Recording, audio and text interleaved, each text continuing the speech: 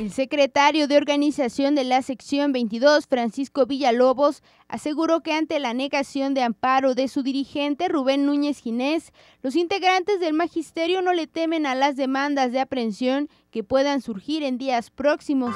No ha habido ninguna eh, declaración expresa formal de las autoridades o instancias judiciales que tengan que ver con esa, ese tipo de situaciones.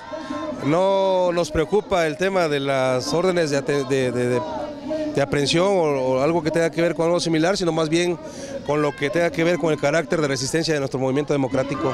El profesor Villalobos señaló que pese a la declaración de las autoridades estatales y federales, en donde se dictaminó que los profesores que no asistan a las aulas serán despedidos, el magisterio seguirá luchando por los derechos de sus trabajadores.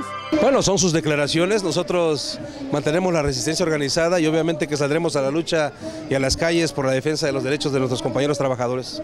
La pretensión precisamente es aniquilar a este movimiento en resistencia representado por la Corredora Nacional, sin embargo, insistimos, este movimiento democrático no, lo, no es de líderes, sino más bien de, de bases y en ese sentido los derechos las legítimas defensas de las exigencias de los compañeros tienen que ver precisamente con la capacidad de organización de esta jornada de lucha.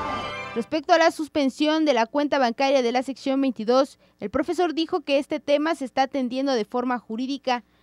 Asimismo, declaró desconocer el motivo por el que funcionarios públicos estaban inscritos en la nómina magisterial. Es claro mencionar que durante la marcha se vio la participación activa de contingentes de otros estados de la República, tales como Guerrero, Chiapas y Veracruz.